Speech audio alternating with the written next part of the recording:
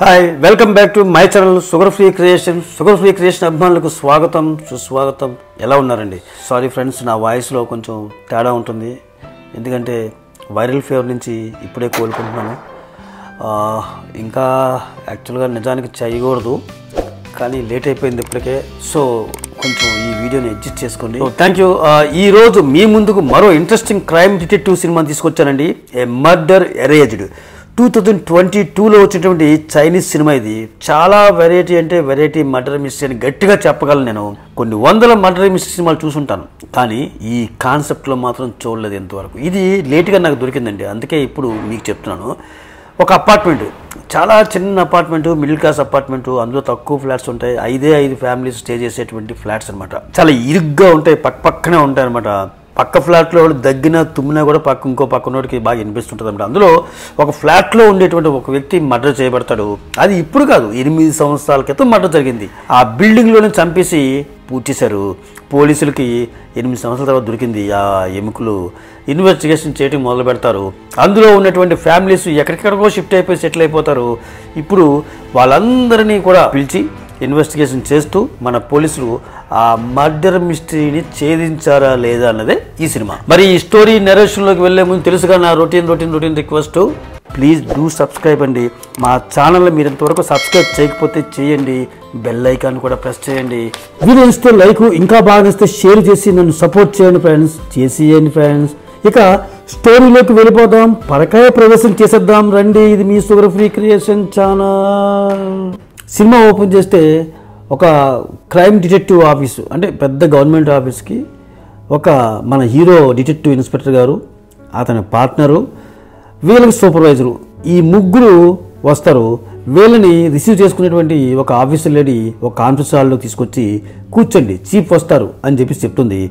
Inspector ఆ వాష్రూమ్లోకి వెళ్తానని చెప్పేసి వెళ్ళి వస్తుండగా మెట్లు దిగుతూ ఆ ముసలి చీఫ్ దిగుతూ ఉంటాడు. ఆ చీఫ్ని నడిపిస్తూ ఒక స్ట్రేంజర్ ఆఫీసర్ వస్తుంటాడు. చూస్తాడు ఆ డిటెక్టివ్ ఇన్స్పెక్టర్? ఆ స్ట్రేంజర్కి మన డిటెక్టివ్ ఇన్స్పెక్టర్ గారికి పరిచయం ఉన్నట్టుగా బిల్డప్ ఇస్తారు. అదేంటి తర్వాత మనకు తెలుస్తుంది. ఇప్పుడు ఆ చీఫ్ హాల్లోకి రాగానే మీటింగు అందరి సమక్షంలో మొదలవుతుంది. సూపర్వైజర్ చెప్పడం స్టార్ట్ చేస్తుంది. ఒక అపార్ట్మెంట్లో రిపేర్ చేస్తుండగా ఆ బేస్మెంట్ లోపల మనిషి ఎముకలు దొరికాయి. అటాప్సీ రిపోర్ట్స్ వస్తే అతను ఎనిమిది సంవత్సరాల క్రితం మర్డర్ జరిగినట్టుగా తెలుస్తుంది చనిపోయినట్టుగా తెలుస్తుంది. ఆ అపార్ట్మెంట్లోని వ్యక్త లేక బయట మనిషి అని ఎంక్వైరీ చేయగా ఆ అపార్ట్మెంట్లోని మనిషి మిస్సింగ్ కంప్లైంట్ ఉంది ఒక మనిషి చేత. అతనిదే ఈ ఎముకలని నిర్ధారించుకుంటారు పోలీసులు. అతని పేరు మనం విక్టిమ్ అని చెప్పుకుందాం. విక్టిమ్ యొక్క తలపైన షార్ప్ కత్తితో పొడిచినట్టుగా ఒక హోల్ ఉంటుందన్నమాట. వాస్తవానికి ఎలా చంపబడ్డాడు అనేది వాళ్ళకి ఊహకందని విధంగా ఉంది. ఎందుకంటే ఎనిమిది సంవత్సరాలు అయింది కదా. అతని ఫోటో చూపిస్తూ ప్రైమ్ సస్పెక్ట్గా ఆ విక్టిమ్ యొక్క వైఫ్ని అనుమానిస్తున్నట్టుగా తెలుస్తుంది. ఆమె పేరు మనం హీరోయిన్ అని చెప్పుకుందాం. ఈమె విక్టిమ్ చనిపోయిన రెండు నెలల తర్వాత అదే అపార్ట్మెంట్లోని ఒక వ్యక్తితో కలిసి జీవించడం మొదలుపెట్టింది. అప్పటికే హీరోయిన్కి పది సంవత్సరాల కొడుకు ఉన్నాడు. అదే విక్టిమ్తో పుట్టినటువంటి కొడుకు అనమాట హీరోయిన్తో కలిసి ఉన్నటువంటి వ్యక్తిని మనం ఆ సెకండ్ హ్యాండ్ అని నిక్నేమ్తో చెప్పుకుందాం. అంటే హీరోయిన్ని ఆ వ్యక్తిని చనిపోయిన తర్వాత మొదటి భర్త చనిపోయిన తర్వాత కలిసి ఉంటున్నటువంటి పెళ్ళి చేస్తున్నటువంటి వ్యక్తిని మనం సెకండ్ హ్యాండ్ అని చెప్పుకుందాం. ఈ ముగ్గురు అంటే హీరోయిన్ ఆమె కొడుకు ఈ సెకండ్ హ్యాండ్ వీళ్ళు ఈ అపార్ట్మెంట్ని ఖాళీ చేసి వేరే ఊరిలోకి షిఫ్ట్ అయిపోతారన్నమాట. ఇది జరిగింది two thousand twelve or two thousand థర్టీన్లో. Next two thousand ఫిఫ్టీన్లో అదే ఊరి నుంచి ఆ కొడుకు చదువుల కోసం తిరిగి ఇదే దేశానికి వస్తాడనమాట. సెకండ్ హ్యాండ్తో లైఫ్ లీడ్ చేయాలని హీరోయిన్ ఆ విక్టిమ్ని చంపిందని చెప్పేసి ఆ సూపర్వైజర్ తాలూకా అనుమానం అనమాట. ఆ అనుమానాన్ని క్లారిఫై చేసుకుందామని హీరోయిన్ని ఎంక్వైరీ చేద్దాం అనుకుంటే ఒక చిన్న ట్విస్ట్ ఇక్కడ ఇస్తారనమాట. టూ థౌజండ్ ఫిఫ్టీన్లోనే క్యాన్సర్ వల్ల ఆ హీరోయిన్ చనిపోయింది. సరే ఆమె చనిపోయింది. సెకండ్ హ్యాండ్ గాని ఇన్వెస్టిగేషన్ చేద్దామని చెప్పేసి ఎంక్వైరీ చేస్తూ ఉంటుంది ఆ సూపర్వైజరు. సెకండ్ హ్యాండ్ గాడు ఇంకో ట్విస్ట్ ఇస్తాడు. విక్టిమ్ అనేవాడు ఉన్నట్టు నాకు తెలియనే తెలీదు అంటాడు. విక్టిమ్ వైఫ్తో రొమాన్స్ చేస్తున్నావు కానీ విక్టిమ్ తెలియకుండా ఎలా ఉంటుందిరా అని చెప్పేసి గట్టిగా నిలదీయగా విక్టిమ్ కనిపించకుండా పోయిన తర్వాతే హీరోయిన్తో నాకు పరిచయం అవటం కలవటం జరిగిందని సెకండ్ హ్యాండ్ గాడు అన్ని రకాల ప్రమాణాలు చేసి చెప్పేసరికి వాడిని సూపర్వైజరు వదిలేస్తుంది. ఇక వ్యక్తిని మిస్ అయిన తర్వాత ఆరు నెలల్లో ఆ అపార్ట్మెంట్ నుంచి షిఫ్ట్ అయినటువంటి రెండు ఫ్యామిలీస్ని ఇన్వెస్టిగేట్ చేయాలని డిసైడ్ అయ్యి ముందు ఒక ఫ్యామిలీని పిలుస్తారనమాట ఆ తల్లి కూతుళ్ళు విక్టిమ్ ఫ్లాట్ పక్క ఫ్లాట్లోనే ఉండేవారు. కూతురికి పెళ్ళి అవ్వడంతో ఆ తల్లి కూతురుతో పాటు ఉండడానికి షిఫ్ట్ అయిపోయి వెళ్ళిపోయింది. విక్టిమ్ గురించి అడగ్గా వాడు చాలా డేంజరస్ కిలాడి శాడిస్టు పెళ్ళాన్ని కొడుకుని కొడుతూ ఉండేవాడు ఎప్పుడు కూడా. ఆ అరుపులు మాకు వినిపిస్తుండేవి. అలాంటి రౌడీని చూడటానికి మాట్లాడడానికి మాకు ఇష్టం లేక ఇంతవరకు మేము చూడనే లేదు ఎలా ఉంటాడో కూడా మాకు తెలీదు అని ఖచ్చితంగా చెప్తారు ఆ తల్లి కూతుళ్ళు. సరే నెక్స్ట్ రెండో ఫ్యామిలీ దగ్గరికి వెళ్తారు. వాళ్ళు ఒక భార్య భర్త. హస్బెండ్ మెస్ అని పని చేస్తుంటాడు. ఫ్లాట్లో ఉండేది వైఫ్ మాత్రమే. స్కాములు లాంటివి చేసి ఈ దిక్కుమాలిన ఫ్లాట్లోకి దాక్కుందామని చెప్పేసి ఈ వైఫ్ వచ్చిందనమాట. సేమ్ టు సేమ్ విక్టిమ్ మంచివారు కాదు అందుకే అతనితో మాట్లాడేదని కాదు అని ఫస్ట్ వాళ్ళు చెప్పినట్టుగానే ఈమె కూడా చెప్తుంది. నెక్స్ట్ ఇంకో వ్యక్తిని కలుస్తారు. వారి ఆకారాన్ని బట్టి వీడిని మనం అరగుండు అని పిలుచుకుందాం. ఎందుకంటే కొంచెం వీడు కామెడీ పీసు. వాడు అంటాడు నేను ప్రత్యక్షంగా చూశాను. భార్య పిల్లని గొడ్డును బాధినట్టు బాధేవాడు ఆ వ్యక్తిగా పొరుగు వాళ్ళు చూస్తున్నారని భయమే లేదు వాడికి. అంత కఠినాత్ముడు అని ఆ అరగుండు గారు చెప్తాడు. మొత్తం ఇన్వెస్టిగేషన్ చేసిన ఫైల్ని ఆ పోలీస్ చీఫ్కి ఇస్తారు. విక్టిమ్ గురించి పూర్తిగా తెలిసిన వాళ్ళు లేరు. సో ఈ కేసులో ముందుకెళ్ళాం అంచేత అన్సాల్వ్డ్ కేసుగా క్లోజ్ చేద్దామని డిసైడ్ అవుతారు. కానీ మన హీరో డిటెక్టివ్ గారు మాత్రం కేసుని రీఓపెన్ చేసి నేను ఎంక్వైరీ చేస్తాను. ఎక్కడో తేడా ఉంది. ఈ కేసులో నేను నిజాలేంటో నేను కనుక్కుంటాను నాకు పర్మిషన్ ఇవ్వండి అని చెప్పేసి అడుగుతాడు శాంక్షన్ చేస్తారు. ఇప్పుడు ఇదంతా కూడా సినిమా మొత్తం అంతా కూడా ఫ్లాష్ బ్యాక్ నేరేషన్లోనే వెళుతుంటుందండి. సో దీన్ని కంటిన్యూ చేస్తారు ఇప్పుడు. ఇప్పుడు మన హీరో డిటెక్టివ్ గారు ఆ అరగుండు గారిని మళ్ళీ రీఇన్వెస్టిగేషన్ చేస్తూ ఉంటాడు. ఈసారి గత ఆఫీసెస్ లాగా విక్టిమ్ గురించి కాకుండా హీరోయిన్ గురించి అడుగుతాడు. ఆమెకున్న ఎఫ్ఐఆర్ గురించి అడుగుతాడు. అబ్బే ఆమె అలాంటిది కాదండి. ఎత్తిన తల దించకుండా వెళుతుంది వస్తుంది. ఆ విక్టిమ్ చెడ్డోడు అని ఒక ఫ్లాష్ బ్యాక్ చెప్తాడు అన్నమాట వాడు. మా అందరికీ ఒకే ఒక బాత్రూమ్ ఉంటుంది ఈ అపార్ట్మెంట్లో ఈ ఫ్లాట్స్లో. మేస్త్రి భార్య బాత్రూంలో స్నానం చేస్తుండగా ఈ విక్టిమ్ గారు దొంగచాటున గోడ దూకి చూస్తుండేవాడు. దీన్ని బట్టి వాడెంత నీచులో మీకు అర్థమవుతుంది కదా అని అరగుండుగాడు చిన్న కుట్టి ఫ్లాష్ బ్యాక్ పూర్తి చేస్తాడు. ఇప్పుడు చీప్ దగ్గర హీరో డిటెక్టివ్ డిస్కషన్ పెడతాడనమాట తుమ్మిన దగ్గిన పక్క ప్లాట్ వాళ్ళకి తెలుస్తుంది. అలాంటిది ఎవరూ కూడా విక్టిమ్ గురించి కరెక్ట్గా చెప్పడం లేదు. అందరూ మాక్సిమం అందరూ కూడా చూడలేదని చెప్తున్నారు. ఒకేలా చెప్తున్నారు. అందరూ ఏదో దాస్తున్నారు అనిపిస్తుంది అని ఒక నిర్ణయానికి వచ్చి మళ్ళా ఇన్వెస్టిగేషన్లో భాగంగా మేస్త్రిని కలుస్తాడు హీరో. ఎందుకంటే మేస్త్రి భార్య స్నానం చేస్తుండగా విక్టిమ్ చూశాడన్నాడుగా అరగుండు గారు మేస్త్రికి ఒక గాల్లో బాణ వేద్దామని మన ఇన్స్పెక్టర్ గారు ఒక ప్రశ్న వేస్తాడు. ఈ మూడు సంవత్సరాలు ఈ ఫ్లాట్లో ఉన్నప్పుడు మీ ఇద్దరి మధ్య శారీరక సంబంధాలు లేవంటగా?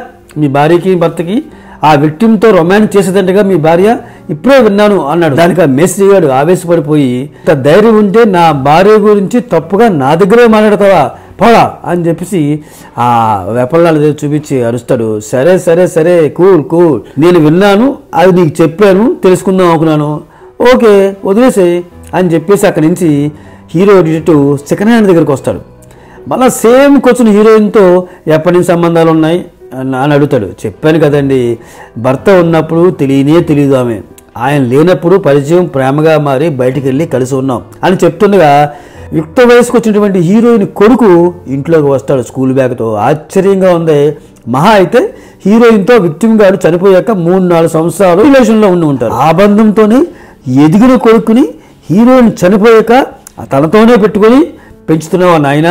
లెక్క తేలటం లేదే అని హీరో లోపల అనుకుంటాడు. ఇప్పుడు హీరోయిన్ కొడుకు ఆ హెల్మెట్లను తీసుకొని ఏదో గేమ్ కోచింగ్కి వెళుతున్నాడని చెప్పేసి వెళతాడు. అది నోట్ చేసుకుంటాడు హీరో. నెక్స్ట్ ఈ తల్లి కూతురు ఫ్లాట్ ఉండేవాళ్ళు కదా వాళ్ళ దగ్గర హీరో వెళతాడనమాట. మూడు నాలుగు సంవత్సరాలు ఈ అపార్ట్మెంట్లోనూ ఉండి విక్టిమ్ కనిపించకపోయిన ఆరు నెలల్లోనే ఈ ఫ్లాట్ ఖాళీ చేసి ఎందుకు వెళ్ళిపోయారు అని అడుగుతాడు. ఈసారి తల్లి కూతులు సంబంధం లేకుండా ఏవో అనుమానంగా చెబుతూ ఉంటారు. అల్లుడు మాత్రం ఆవేశపడిపోయి నోరు జారుతారు అదే అలాంటి సంఘటన జరిగిందని తెలిస్తే అప్పుడే వెంటనే మా వాళ్ళని ఖాళీ చేసి తీసుకెళ్ళిపోయాను సార్.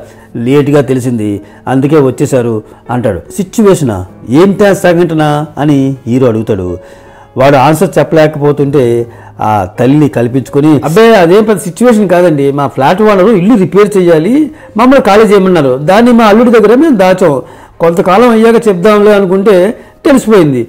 అంతే అంతే అంటుంది. నెక్స్ట్ ఇప్పుడు హీరోకి ఆ ఇంట్లోని వస్తువుల మీద ఒక కళ్ళు వేయాలనిపించింది. చూస్తూ ఉంటాడు. మెడల్స్ సర్టిఫికెట్స్ స్పోర్ట్స్ సంబంధించిన చాలా చాలా ఉన్నాయన్నమాట. స్పోర్ట్స్ అకాడమీ పేరుని నెంబర్ని తీసుకొని వెళ్తే హీరోయిన్ కొడుకు అదే స్పోర్ట్స్ అకాడమీలోకే కోచింగ్ తీసుకుంటున్నాడు. ఆ కోచింగ్ టీచర్ ఎవరనుకున్నారు? ఇందాక ఆవేశంగా మాట్లాడిన అల్లుడు గారు. ఇప్పుడు సెకండ్ హ్యాండ్ ఒక అబద్ధం చెప్పింది గుర్తు చేసుకుంటాడు ఇప్పుడు హీరో. తల్లి కూతురు మాత్రమే ఉన్నారు ఎప్పుడో ఒకసారి వచ్చే అల్లుడు నాకు తెలీదు అని ఆ సెకండ్ హ్యాండ్ గారు చెప్పాడు. ఇప్పుడు అదే అల్లుడు తన కొడుక్కి స్పోర్ట్స్కి స్పాన్సర్గా కూడా ఉన్నాడు. అంటే అబద్ధం చెప్పావు కదా సెకండ్ హ్యాండ్ అని చెప్పేసి వాడిని లాక్ చేసి మన హీరో డిటెక్టివ్ నిలదీస్తాడు. నీళ్ళు నమ్ములుతాడు వాడు. కూతురుని విక్టిమ్ రేప్ చేస్తే కూతుర్ని ప్రేమించిన అల్లుడు ఆవేశంతో విక్టిమ్ని చంపేశాడు. అంతేగా అనగా అబ్బాయి అబ్బాయి అల్లుడు అలాంటి వాడు కాదండి అంటాడు సెకండ్ హ్యాండ్ వాడు. సరే విక్టిమ్ చంపింది ఎవరు అని గట్టిగా అడిగాడు. నేనే చంపాను. అని ఓపెన్ అయిపోయాడు సెకండ్ హ్యాండ్ గారు సో సెకండ్ హ్యాండ్ గారు చెప్పినటువంటి ఆ ఏదైతే చెప్పాడో ఆ కన్ఫెషన్ నోట్ ప్యాడ్లో హీరో నోట్ చేసుకొని నిన్ను అరెస్ట్ చేస్తాను నువ్వు లాయన్ పెట్టుకోవచ్చు అంగీకారమేనా? అని జరిగింది ఆ సెకండ్ హ్యాండ్ గారిని చెప్పమంటాడు హీరో. విక్టిమ్ ఎప్పుడు చూసినా హీరోయిన్ని కొడుకుని ఇప్పుడు కొడుతూ హింసించేవాడు. అది నాకు నచ్చేది కాదు. అందుకే ఒకరోజు చూసి భరించలేక విక్టిమ్ని చంపేసి కింద బేస్మెంట్లో పూడ్చిపెట్టాను అని చెప్పి చెప్తాడు. ఇక్కడి నుంచి కట్ చేస్తే ప్రజెంట్ లైవ్లో లో మీటింగ్లో ఉంటారు అందరం. హీరో చెప్పాక అందరూ కూడా హీరోని ఒక రకంగా తిడతా అక్యూజ్డ్ దగ్గర నుంచి కన్విషన్ తీసుకున్నప్పుడు వాడి దగ్గర సంతకం చేసుకోవాలి. అది తెలియదా నీకు? నోట్ ప్యాడ్లో నోట్ చేసుకోవాలి ఏంటయ్యా? వాడి నోట్ ప్యాడ్లో నోట్ చేసుకుంటారా నువ్వు విచారించేది ఏంటి? మర్డర్ కేసు కూడా. పార్ట్నర్ తీసుకెళ్ళాలని తెలియదా నీకు? బుద్ధి లేకుండా ఒంటరిగా ఇన్వెస్టిగేషన్ చేసావు. డిపార్ట్మెంట్ నీ బాగుదనుకున్నావా అని చెప్పేసి అందరూ చార్జ్ చేస్తుంటారు అతన్ని. మీరు అడిగిన వాడికి నా దగ్గర సమాధానం ఉన్నాయి. రూల్స్ అన్ని కూడా సెకండ్ హ్యాండ్ చెప్పే కన్ఫ్యూషన్ తీసుకున్నాను నేను. పార్ట్నర్ తీసుకెళ్ళకుండా వెళ్ళాననే కదా మీ ఆరోపణ? తీసుకెళ్ళాను సార్ పార్ట్నర్ని కానీ వాడు వాడి ఉద్రేకం వల్ల నా ఇన్వెస్టిగేషన్ ఆగిపోయింది అని ఒక చిన్న కుట్టి ఫ్లాష్ బ్యాక్ చెప్తాడు. అదే ఊర్లో ఉన్నటువంటి గ్యాంగ్స్టర్కి విక్టిమ్కి ఏదో పంచాయతీ ఉంది లింక్ ఉందని తెలిసి గ్యాంగ్స్టర్ దగ్గరికి విచారణ కోసం వెళ్తాడు. అక్కడ పార్ట్నర్ కూడా తీసుకెళ్ళాడు. నేను చాలా సహనంతో ఎంక్వైరీ చేస్తుంటే ఆ పార్ట్నర్ గారు మాత్రం ఉడుకు రక్తంతో గొడవ పెట్టుకున్నాడు. మొత్తం నాశనం అయిపోయింది ఆ ప్లాను ఆ పార్ట్నర్ వల్ల అని చెప్పేసి చెప్తాడు. చీప్ అంటాడు అనమాట సరే సరే ఇప్పుడు ఆ సెకండ్ హ్యాండ్ గారి కన్ఫెషన్లో డీటెయిల్గా ఇంకా ఏం చెప్పాడు అని చెప్పేసి ఆ మర్డర్ తాలూకా మిస్టరీ గురించి అడుగుతాడు. అదే కదా మనకి ఇంట్రెస్టింగ్ పాయింట్ ఇప్పుడు ఆ ఫ్లాష్ బ్యాక్లో కన్ఫెషన్ రూమ్లో సెకండ్ హ్యాండ్ గారు చెప్పింది కంటిన్యూ చేస్తాడనమాట ఇప్పుడు. విక్టిమ్ చనిపోయిన తర్వాత హీరోయిన్కి నాకు పరిచయం ఏర్పడింది అని చెప్పాను కదా సార్. దానికి మూల కారణం హీరోయిన్ కొడుకే. హీరోయిన్ కొడుక్కి కొంచెం హెల్త్ ఇష్యూస్ ఉన్నాయి. ఇంట్రావర్ట్ అనమాట ఎవరితో మాట్లాడు. అందుకే అతనికి ఫ్రెండ్స్ ఎవరు ఉండేవారు కాదు. ఇంట్లో విక్టిమ్తో తన్నులు తిని ఎప్పుడు చూసినా ఒంటరిగా డల్గా ఉండేవాడు వాడు. వాడిని చూసినప్పుడల్లా నాకు చాలా జాలేసేదండి. ఎప్పుడన్నా ఒకసారి తినటానికి వాడికి పెట్టేవాని మొదట్లో తల్లికి అంటే హీరోయిన్కి ఇది నచ్చేది కాదు. హీరోయిన్ కొడుక్కి నేను బాగా నచ్చేశాను. ఇలా ఉండగా విక్టిమ్ సొంత కొడుకు చేత తన పాకెట్ మనీ కోసం డ్రగ్స్ని అమ్మించేవాడు. విక్టిమ్ మీద భయంతో ఆ కొడుకు ఆ పని చేసేవాడు. ఒకసారి పోలీస్ చెకింగ్ చేస్తూ కనిపించేసరికి ఆ భయంతో ఆ బ్యాగ్లోని ఆ డ్రగ్స్ని తీసి కుప్పతొట్లో పడేస్తాడు. అది తెలుసుకుని విక్టిమ్ కొడుకుని వేరే బాధలు బాధి చితక్ కొడతాడు. ఆత్మన్న హీరోయిన్ కూడా కొడతాడు. ఇలా ఉండగా ఆ సెకండ్ హ్యాండ్ గాడు ఆ అపార్ట్మెంట్ టెర్రస్లో తన బిజినెస్ కోసం బొమ్మలు చేస్తూ ఉంటాడనమాట ఈ సెకండ్ హ్యాండ్ గారికి కూడా హీరోయిన్ కొడుకులాగానే ఏదో వ్యాధి ఉంది. ఆ వ్యాధి పేరు ఏదో చెప్పారు సినిమాలో. అది నాకు నోరు తెలియట్లేదు మొత్తానికి ఏదైతేనే అది సినిమా వ్యాధి ఉంది. ఈ రోగం ఉన్నవారికి కాళ్ళు చేతులతో బరువైనటువంటివి బలమైన పనులు చేయలేరు.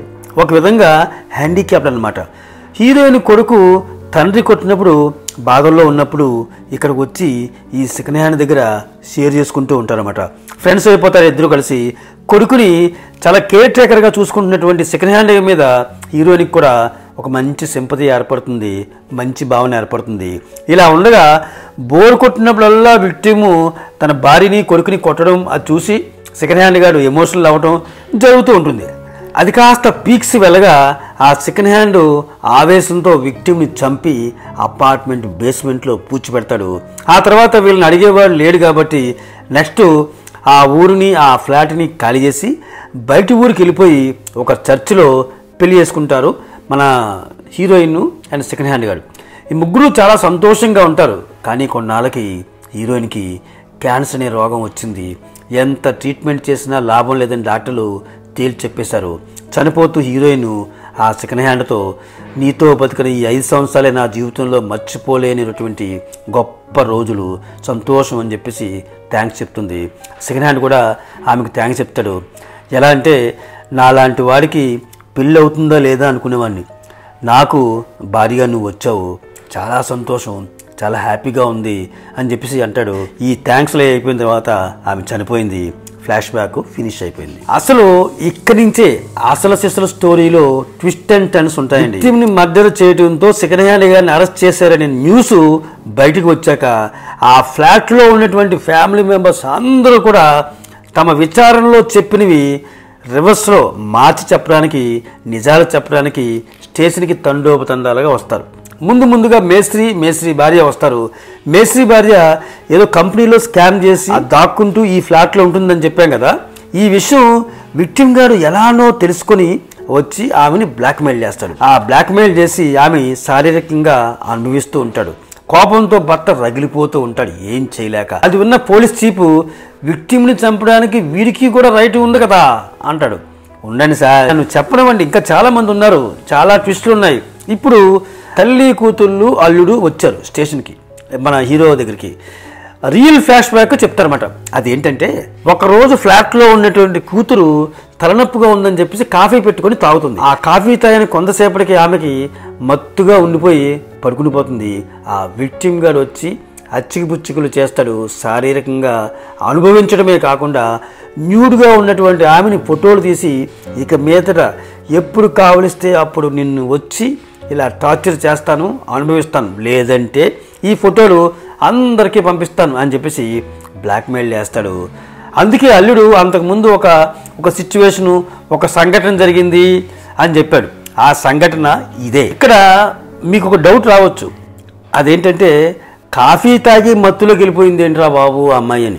ఈ విషయం బాధింపబడ్డ అమ్మాయికే తెలీదు. కానీ నేను ఊహించాను అని ఒక విజువల్ చూపిస్తాడు ఆయన కాఫీ కలుపుకుందామని కాఫీ పెట్టి లోపల పని మీద వెళ్ళినప్పుడు ఆ కూతురు గూతికార గుంటనక్కలా కాచుకున్న ఆ విక్టిమ్ గాడు వచ్చి అందులో మత్తు మందిని కలుపుతాడు. మొత్తానికి ఈ ఫ్యామిలీకి కూడా విక్టిమ్ను చంపాలనే మోటివ్ ఉండొచ్చు అని చెప్పేసి కన్క్లూజన్కి వస్తారు అందరూ కలిసి. దీంతో అయిపోలేదు సార్ విక్టిమ్ గారి లీలలు చాలా ఉన్నాయి చాలామంది శత్రువులు ఉన్నారు వీడికి అని చెప్పేసి హీరో డిటెక్టివ్ కంటిన్యూ చేస్తాడు.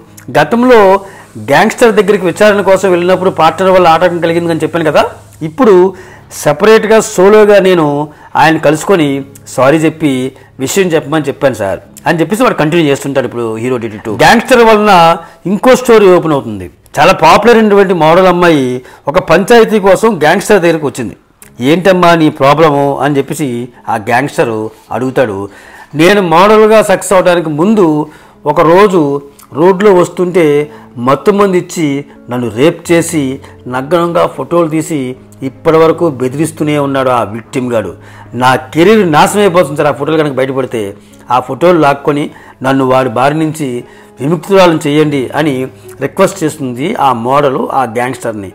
సో ఆల్రెడీ విక్టిమ్ మీద గ్యాంగ్స్టర్ కోపం ఉంది. ఎందుకంటే నేను గ్యాంగ్స్టర్ మనిషిని నేను గ్యాంగ్స్టర్ మనిషిని అందరికీ చెప్పుకొని నానా వెధవ చేస్తున్నాడని ఈ గ్యాంగ్స్టర్కి ఆ విక్టిమ్ గురించి తెలిసింది. వెంటనే ఛాన్స్ దొరికింది కదా అని చెప్పేసి ఆ విక్టిమ్ మీద అటాక్ చేసి చచ్చేలా చితక్కొట్టి ఆ మోడల్ ఫోటోలు డిలీట్ చేయిస్తాడు gangster. So model problem solve అయిపోయింది. ఈ విషయాలు గ్యాంగ్స్టర్ మన హీరో డిటెక్టివ్కి చెప్పే టైంకి ఇంకా సెకండ్ హ్యాండ్ అరెస్ట్ చేయలేదండి. సెకండ్ హ్యాండ్ని అరెస్ట్ చేసిన తర్వాత కదా వీళ్ళందరూ రివర్స్ స్టేట్మెంట్లు ఇచ్చారు. అలాగే ఈ సెకండ్ హ్యాండ్ అరెస్ట్ అయిన తర్వాత అందరిలాగానే ఈ గ్యాంగ్స్టరు ఆ హీరో పోలీస్ని తన దగ్గరికి పిలిపించుకొని సెకండ్ హ్యాండ్ అరెస్ట్ అయ్యాక నా బాసు నన్ను పిలిచాడు. అతనికి చాలామంది గర్ల్ ఫ్రెండ్స్ ఉన్నారు. ఈ కేసు విషయంలో ఒక అమ్మాయి నిన్ను కలవాలి నీతో చెప్పుకోవాలంటుంది. కానీ చాలా కాన్ఫిడెన్షియల్గా ఉండాలి ఈ విషయం అని చెప్పేసి ఆ గ్యాంగ్స్టర్ అంటాడు. అలాగే కలుస్తాను ఎవరికీ చెప్పను అని చెప్పేసి హీరో మాటిచ్చాక ఆ అమ్మాయిని కలుస్తాడు. ఎనిమిది తొమ్మిది సంవత్సరాలకు ముందు అంటే విక్టిమ్ చనిపోక ముందు ఇల్లీగల్గా ఈ అమ్మాయి చైనా వచ్చి బతకడానికి వ్యభిచార వృత్తిని ఎన్నుకుంది. ప్రాస్టిట్యూట్గా ఉన్నప్పుడు విక్టిమ్ గారి విత్డ్రాల్ అయిపోయింది అనమాట అంటే విక్టిమ్ గారికి వీళ్ళందరితో కూడా లింకులు ఉన్నాయన్నమాట. విక్టిమ్ గారు ఈ వేస్యని వాడుకునేవాడు. ఆ విక్టిమ్ గారి కోరిక కలిగినప్పుడల్లా ఆ అమ్మాయిని బయటికి తీసుకెళ్ళడం ఆనవాతి అయింది. ఇలా అలవాటైన విక్టిము ఆ అమ్మాయిని ఒకసారి తన ఇంటికి తీసుకొచ్చాడు. మ్యాటర్ జరిగే లోపు హీరోయిన్ కొడుకు ఇంటికి వచ్చారు సరే అని వాళ్ళు పంపించి ఆమెతో కలుస్తారనుకుంటే అలా అలా చేస్తే వాడు విక్టిమ్ ఎందుకు అవుతాడు ఆ కొడుకుని భార్యని పక్కన పెట్టుకొని ఆమెతో ససలాట మొదలు పెడతాడు ఇలాగే కానిచేద్దాం అంటాడు. దానికి వీళ్ళు రివర్స్ అవ్వకపోయినా ఆమె ఆ ప్రాస్టిట్యూట్ రివర్స్ అయింది. ఆ రివర్స్ అయ్యేసరికి ఒక చెంప దెబ్బ ఆ వేసిని కొట్టాడు. అడ్డుకున్న హీరోని ఇంకో చెల్లమనిపించాడు దెబ్బ. విక్టిము ఆ గొడవకి మన సికనయాని గారు పరిగెత్తుకుంటూ వచ్చేసి విక్టిమ్ను తోశాడు స్ట్రగుల్ చేశాడు. ఇదే అదునుగా ఆ ప్రాస్టిట్యూట్ గర్ల్ పారిపోయింది ఆ ఇంట్లోంచి వెళ్ళిపోతూ ఆ విక్టిమ్ని సెకండ్ హ్యాండ్ చితక్కొట్టడం చూసింది. ఇప్పుడు ఆమె చెప్పడం పూర్తి చేసింది తన ఫ్లాష్ బ్యాక్ని. జరిగింది మొత్తం లైవ్లో ఆ పోలీస్ చీపు మరియు స్టాఫ్ అందరూ కూడా వింటున్నారన్నమాట. అంతా విన్న చీపు అంటాడు వీళ్ళంతా ముందుకొచ్చి విక్టిమ్ యొక్క అరాచకాలు చెప్పడం వెనుక మెయిన్ మోటివ్ సెకండ్ హ్యాండ్ని కాపాడుదామని కనిపిస్తుంది. విక్టిమ్ గారి కథ పక్కన పెట్టు. నీ కథ తెలుసుకోవాలని ఉంది అని హీరో డిటెక్టివ్ని చీప్ అడుగుతాడనమాట డిటెక్టివ్గా ఈ జాబ్లోకి రాకముందు హీరో డ్రగ్ స్క్వాడ్లో పనిచేసేవాడు. ఈ డ్రగ్ స్క్వాడ్ చీప్ ఎవరో కాదు. స్టార్టింగ్ సినిమాలో ఆ పోలీస్ చీపు మెట్లు దిగుతూ ఉంటే ఒక వ్యక్తి స్ట్రేంజర్ వ్యక్తి పంపించాడు కదా. వాళ్ళిద్దరు గుర్రం చూస్తున్నారు కదా హీరోగాను అతను కూడా. ఆ ఇద్దరి మధ్య రిలేషన్ ఏంటనేది ఇప్పుడు తెలుస్తుంది అనమాట ప్రాస్టిట్యూషన్ తగ్గించడం కోసం గవర్నమెంట్ రైడ్లు చేస్తుంది. అందులో చాలామంది చాలామంది సెక్స్ వర్క్స్ దొరుకుతారు.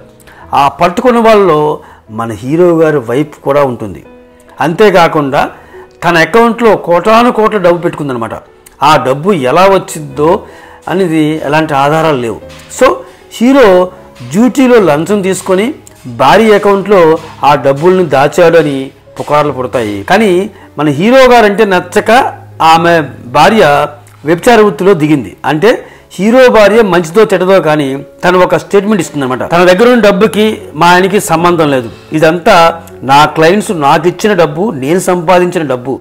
ఎవరెవరు ఎంత ఇచ్చారో లెక్క చెప్పమంటే నేను చెప్తాను అని చెప్పేసి వాళ్ళ పేర్లు అమౌంట్ పబ్లిక్గా రిలీజ్ చేస్తుంది. ఇవన్నీ కూడా డ్రగ్స్ వ్యాడ్ చీప్కి నచ్చక హీరో మీద వ్యతిరేకతతో పోలీస్ డిపార్ట్మెంట్లోకి షిఫ్ట్ చేయిస్తాడు.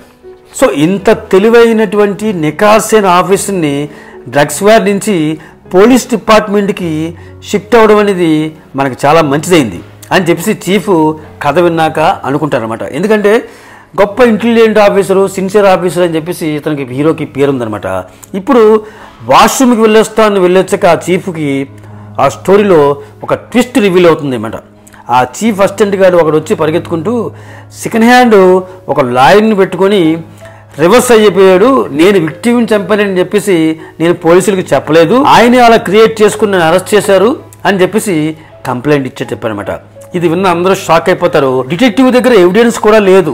అని చెప్పేసి అందరూ కూడా కోపంగా అతను చూస్తారు. విచారణ జరిగినప్పుడు ఆ కన్ఫెక్షన్ జరిగినప్పుడు ఆ సెకండ్ హ్యాండ్ గారు చెప్పినప్పుడు ఆ ఒక వీడియో సీసీటీవీ ఫుటేజ్ చూస్తే అందులో ఆడియో లేదు. మన హీరో గారు ఆ సెకండ్ హ్యాండ్ భుజం మీద చెయ్యి వేసి పాకెట్లో ఏదో పెట్టినట్టుగా యాక్షన్ చేస్తా అది సీసీటీవీ ఫుటేజ్లో రికార్డ్ అయింది.